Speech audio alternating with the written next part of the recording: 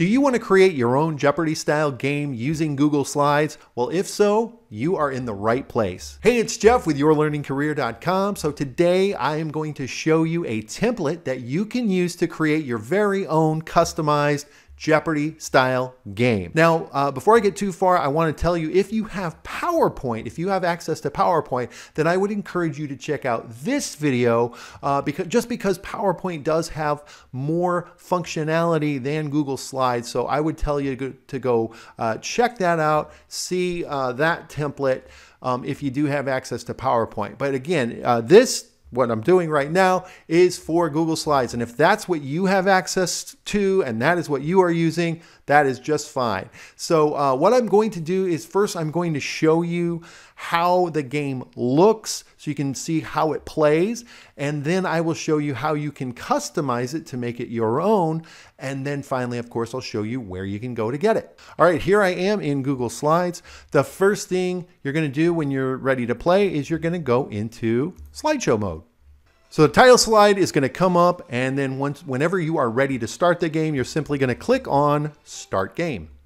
And it's going to bring up this uh, board. Now on this board, you'll notice the categories are not revealed yet. And that's because a lot of times uh, I like to do like a, a, kind of a big production out of the category. So what, I, what I'll do is I'll click on present categories and then I can say, all right, here are the categories, category one. And then you know, as you click, I'm just going to click on each slide and it's going to bring each category up. And of course, these will have whatever your categories are, you know, once you update this. And then after category six, it's going to go to the main board. Now, if you don't want to introduce all the categories like that, that is okay. Let me just show you what it looks like. If you skip that, all you have to do then on this uh, board, if you want to not go through the, if you don't want to go through all the categories, just click on skip to main board and then it's going to go here. Okay. So uh, from here, this is where you're going to spend most of your time because this is, this has all of the links to all of the different clues and answers. And it's really super easy uh, to play from here. All you're going to do is, you know, whenever your contestant, um, wants to play a certain category with a certain number, like let's say they say, I'm going to play a category three for $400. You're just going to click on that link. So when I click on that, it's going to take me to the appropriate category clue.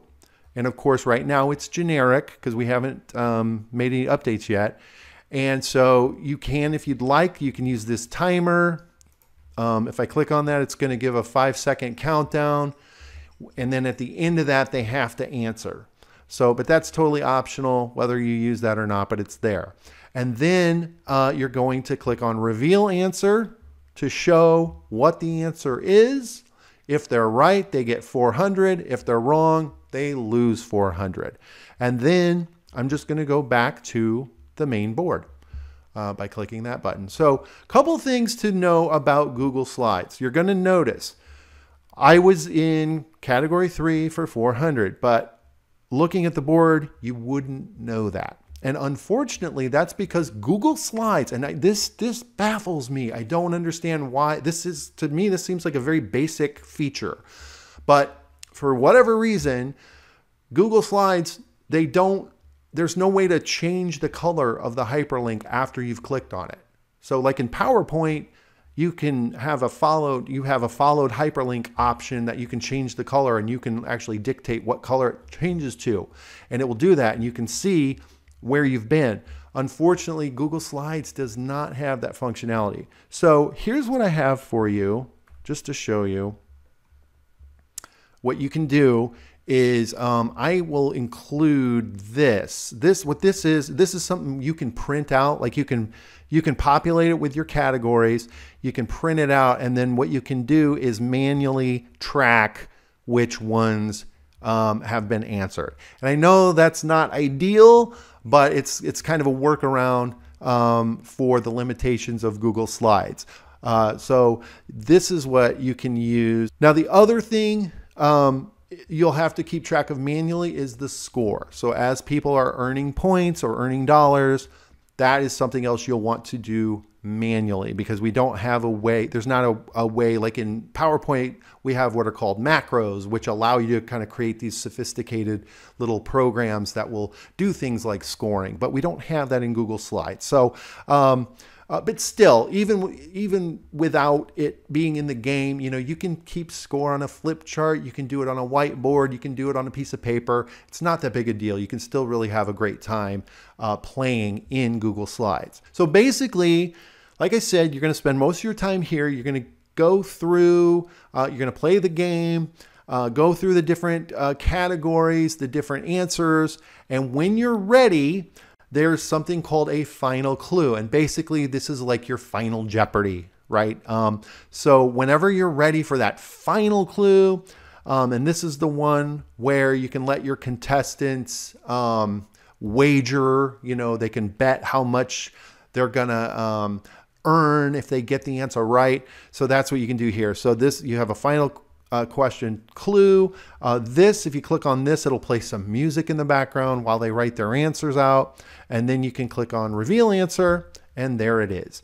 And then if you click the next button after this, you get this and this has some music playing in the background and then you know just saying and the winner is and there you go and that's that's your game now let's look at how to customize the game so if you're going to use the present categories, then the first thing you're going to want to do is go in and update these category slides.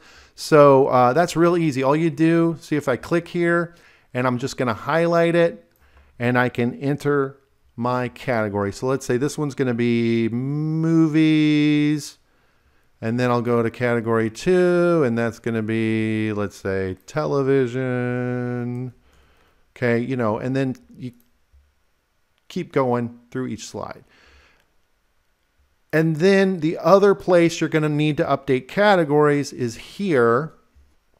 So once again, I'm just going to highlight that and I'll put in movies. Over here, I'll put in television and I would just continue through my other categories. Once I have my categories updated, then I'm going to go and I'm going to update my clues. So let's say uh, on this one, I'm going to say uh, this Tom Hanks Hanks movie features a mermaid. Okay. Mermaid, mermaid. There we go. Okay. So I'm just typing in my clue there. Then I'm going to go to the next slide, which is the answer. And once again, I'm just going to highlight and I'm going to type in the answer. And, and it's, you know, what is, or maybe what is splash? or I can just put splash, you know, whatever you want to put there, okay? And now if I go back into slideshow mode, you're going to see, and when I click on the 200, there it is. This Tom Hanks movie features a mermaid. And then I reveal answer, boom, what is splash? All right.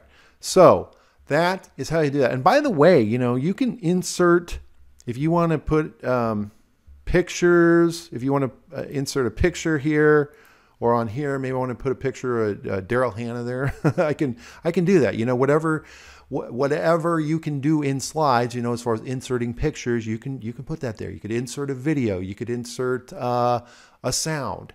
Uh, so you can really have some fun and do some creative stuff with these questions and answers. The other thing I want to show you real quick too is you'll notice on each of these uh, clue slides, over to the side, you're going to see something called secret clue. And I've got that on every answer, or I'm sorry, I have that on every clue slide. And, and the reason for that is, is so you can choose which ones you want to use it on. Because usually, I think they, uh, and I'm sorry, what is secret clue? Secret clue is basically like a double jeopardy question. So if you want to use a double jeopardy type of question, that's what the secret clue is. And basically, what that allows the contestant, so if the contestant um, picks something that's designated as the secret clue, they can wager the points they've earned on whether or not they're going to get the answer right. So the way this works is if I decide I'm going to use category one for 400 as my secret clue, then what I need to do is I need to duplicate the slide. And then, okay, I'm going to go back to the original. I'm going to get rid of the text here. And I'm going to put my secret clue there. So that way when they click the link, it goes to the, um, it'll go here. Then on here is where I'm going to actually type the clue. Here is the question, whatever. Okay, whatever the question is. Okay. And so the way this will look is, let me go to slideshow. So when I click on the 400, that then as the whole, oh, it's a secret clue. And then before I'm revealing the clue or the question, this is when I would ask the person, okay, how much do you want to bet? You know, do you think you'll get it right?